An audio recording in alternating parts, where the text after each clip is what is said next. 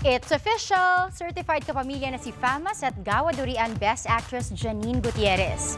Excited na ang showbiz royalty sa upcoming project sa Kapamilya Network at may wishlist siya kung sino ang mga gusto niyang maka-eksena. Nagpapatrol, Gainiel Krishnan.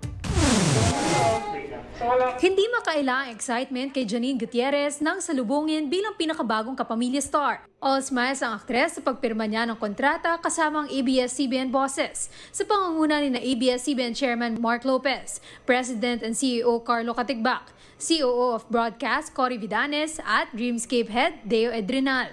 Super excited ako maging kapamilya. I'm so excited to work with all the kapamilya actors, directors.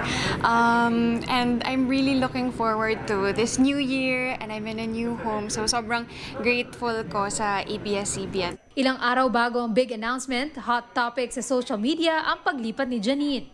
Tila nadulas kasi ang aktor na si Paolo Avellino nang tawagin si Janine bilang our newest kapamilya. Nagulat ako.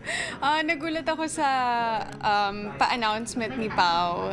But at the same time, I'm really excited also to work with him here kasi nakagawa kami ng movie together ngayon kaya, which is coming out sometime this year. So excited ako na siya pa yung nag-anunsyo. Kilalang showbiz royalty dahil sa sikat niyang pamilya, gumagawa na si Janine ng sariling marka sa industriya. Pinarangalan siya bilang Best Actress sa Famas at Gawad Orian para sa pelikulang Babae at Baril. Kaya naman hindi siya naiwasan tanungin kung sino ang mga gusto niya makatrabaho sa mga susunod niyang projects.